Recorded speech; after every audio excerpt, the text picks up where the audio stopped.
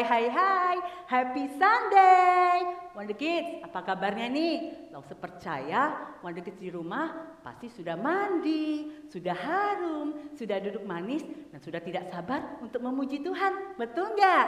Nah Wonder Kids, meskipun hari ini Lause cuma sendiri dan tidak ditemenin sama Lause-Lause yang lain seperti biasanya, tapi Wonder Kids tahu nggak kalau Lause tetap semangat. Dan Lause mau Wonder Kids yang ada di rumah juga sama, harus tetap semangat memuji Tuhan. Meskipun tidak berkumpul di gereja bersama teman yang lain seperti biasanya. Oke? Nah Wonder Kids, Sebelum kita mulai ibadah sekolah minggu kita ini, mari yuk kita mulai dengan memuji Tuhan dan penuh sukacita dan penuh semangat. Kita bersama-sama naikkan pujian. Hari ini kurasa bahagia. Hari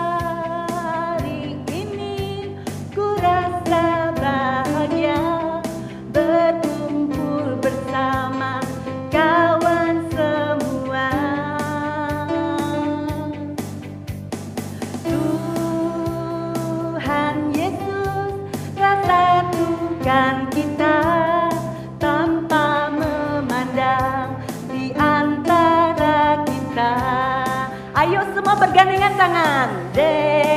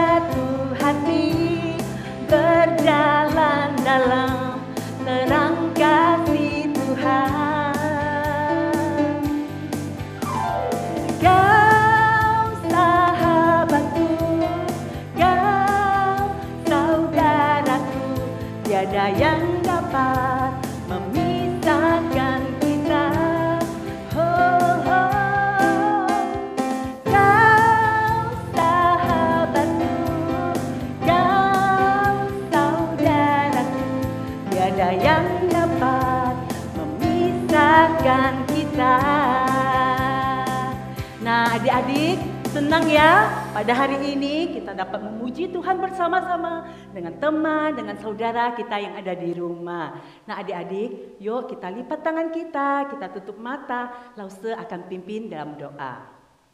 Tuhan Yesus, terima kasih pada hari ini Tuhan, Engkau mengumpulkan kami kembali di ibadah sekolah minggu ini. Meskipun kami semua harus beribadah dari rumah Tuhan, tapi kami percaya Tuhan tetap membimbing kami, memberkati kami untuk tetap semangat mengikuti sekolah minggu ini.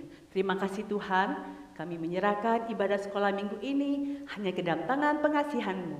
Hanya dalam nama Yesus kami bersyukur syukur dan berdoa. Amin. Nah adik-adik, masih semangat untuk memuji Tuhan? Kita semua percaya bahwa Tuhan Yesus itu sangat baik dan sangat mengasihi kita. Dan terlebih kita percaya bahwa kasih Tuhan itu begitu indah. Seindah pelangi, seindah bintang di langit, dan seindah bunga di taman. Yuk kita lebih semangat lagi memuji Tuhan. Kasih Yesus indah, indah, oh indah. Kasih Yesus indah, indah, oh indah. Kasih Yesus indah, indah, oh indah. Kasih Yesus. Kasih Yesus. Indah indah oh indah. Kasih Yesus. Indah indah oh indah. Lebih indah dari pelangi. Lebih indah dari pelangi. Lebih indah dari bintang di langit. Lebih indah dari lebih indah. Lebih indah dari pelangi. Lebih indah dari bintang di langit. Lebih indah dari bunga di taman. Oh Yesus.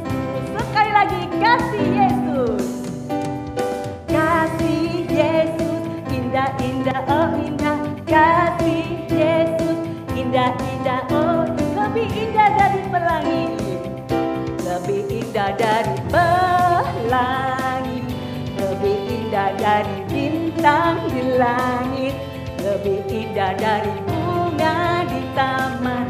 Oh Yesus lebih indah dari pelangi lebih indah dari pelangi lebih indah dari bintang di langit lebih indah dari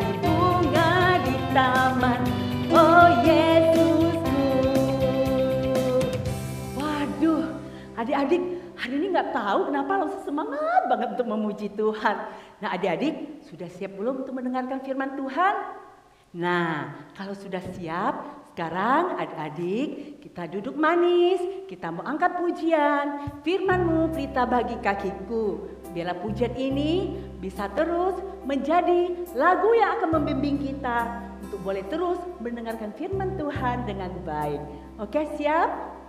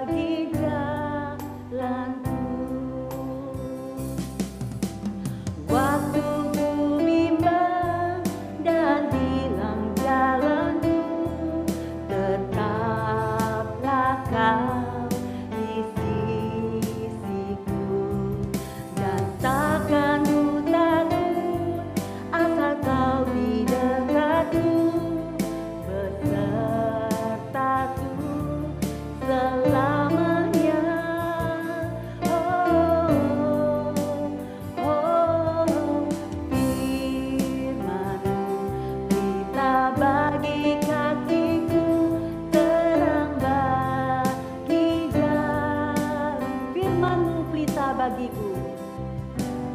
Firmanmu bagi kakiku, terang bagi jalanku.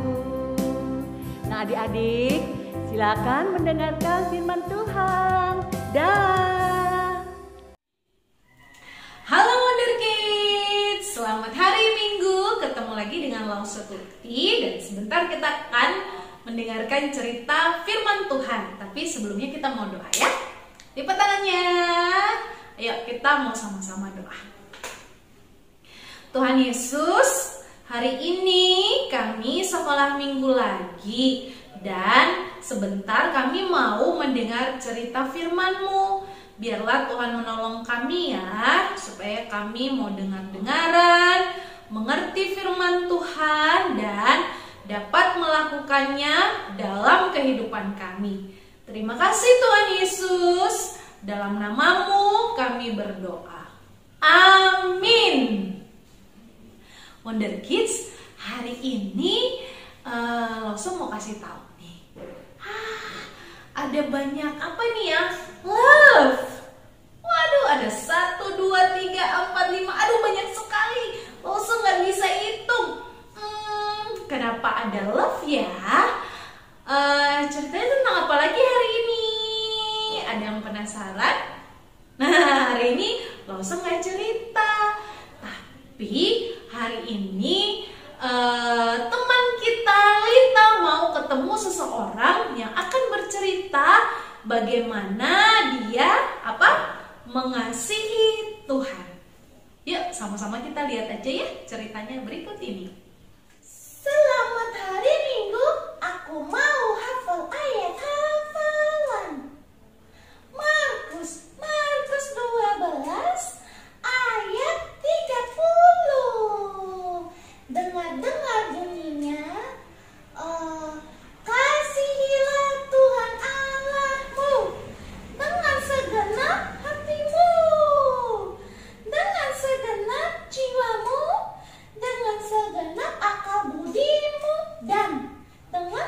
Anlatır.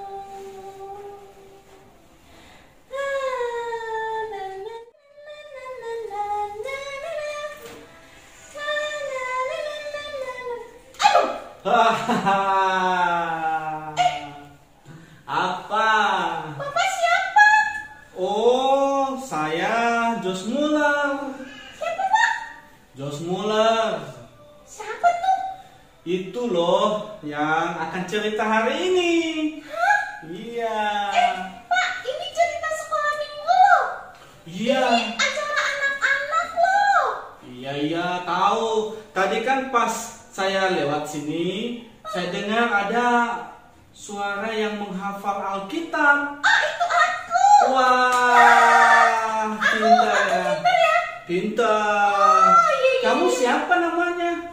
Oh, aku Lita. Oh, Lita. Lita saya pernah lihat, sering lihat. Iya, Yang ada di Wonder Kids gitu ya? ah, ah, aku Oh. temannya Joy. Eh, Wonder Kids di rumah udah kenal aku sama Joy. Wah.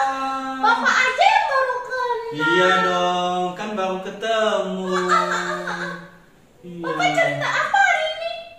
Iya, saya mau cerita bagaimana kita supaya mengasihi Tuhan. Oh, Ah, Bapak mau cerita tentang kisah Bapak. oh. Gitu. Emang Bapak mengasihi Tuhan ya? Iya dong, saya mengasihi Tuhan. Tapi, Tapi apa? tapi dulu saya itu nakal. Wih, Iya. nakalnya apa, Pak? Dulu saya suka mencuri. Ih, awas ditangkap polisi lo. Hehehe, belum Mencuri pernah. apa? Mencuri apa?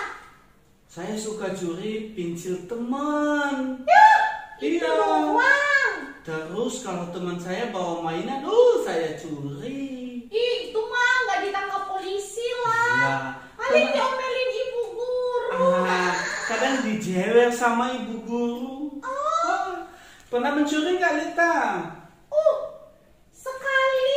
Uh. Oh sekali. Ah, ah. Oh. Tapi nggak boleh lagi kata mama. Iya nggak boleh karena itu dosa. Iya. Kita tanya sama Wonder Kids ya, di rumah pernah mereka curi nggak? Hah, Wonder Kids pernah mencuri nggak? ayo. Tuh ada yang senyum-senyum tuh. Jangan lagi ya. Iya jangan lagi tidak boleh Tuhan mencuri. nggak senang. Iya.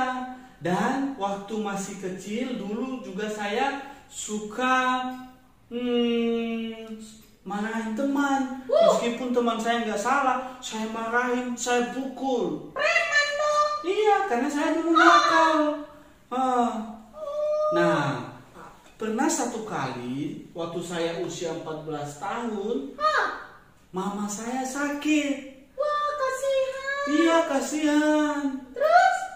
Tapi saya tidak jaga mama. Ya, Iya, saya tidak temanin mama waktu sakit. ya.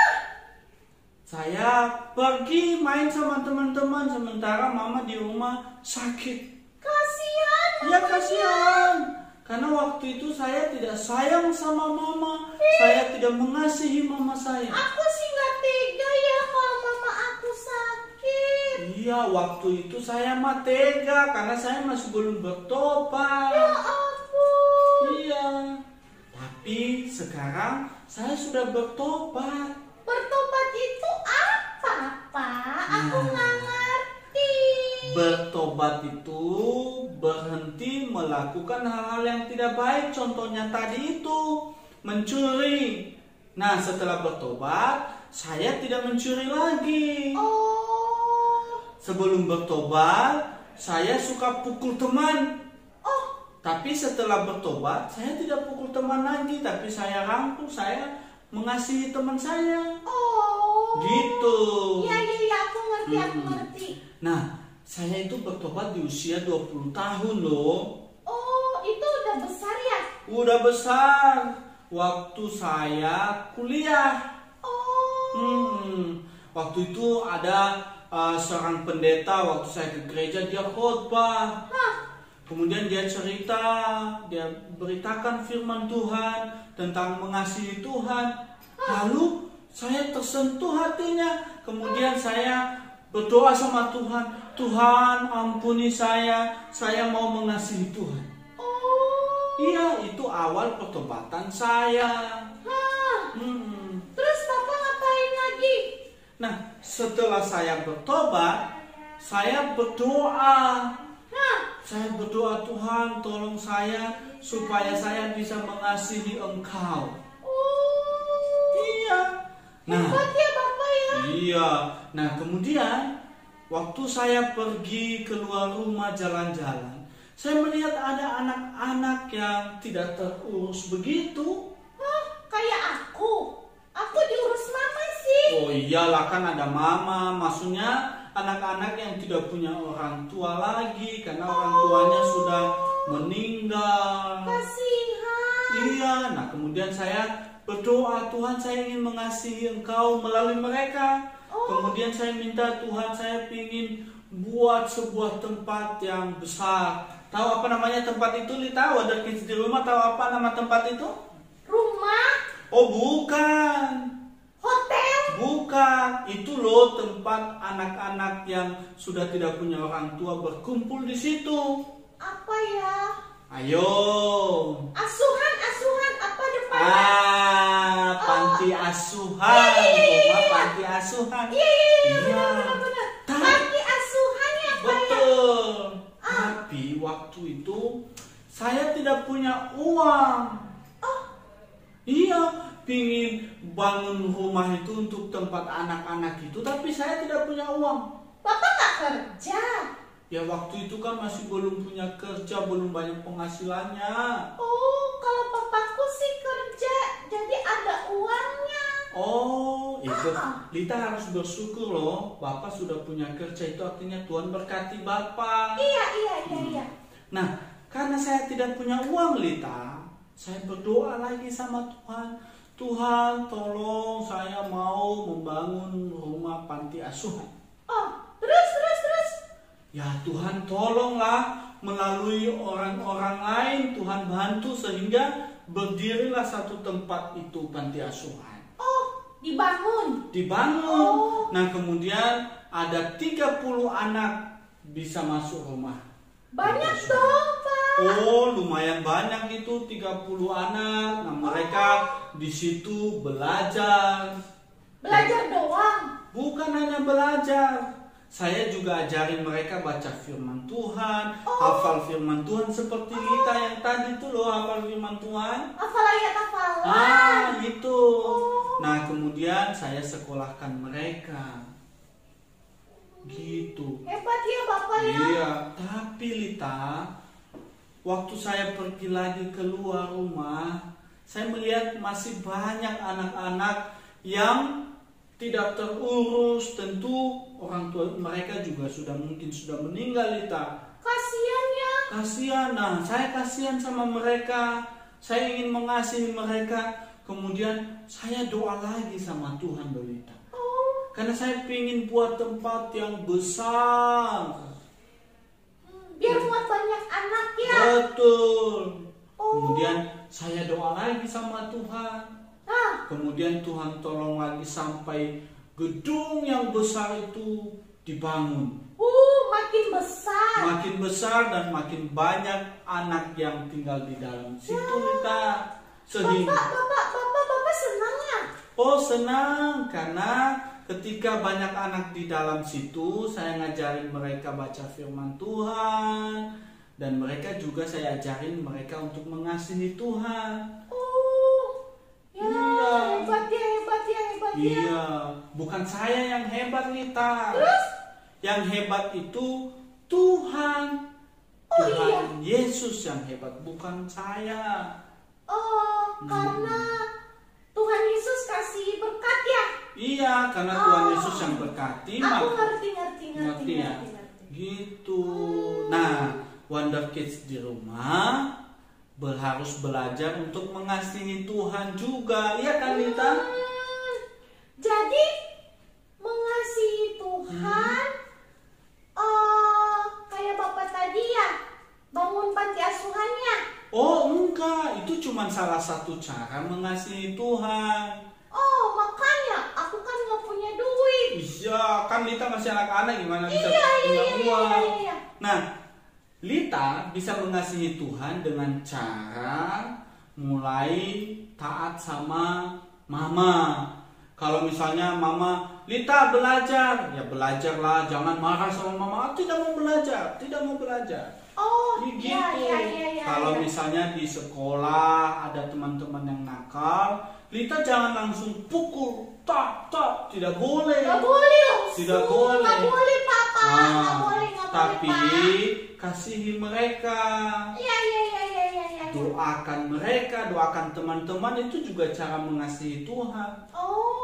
Gitu.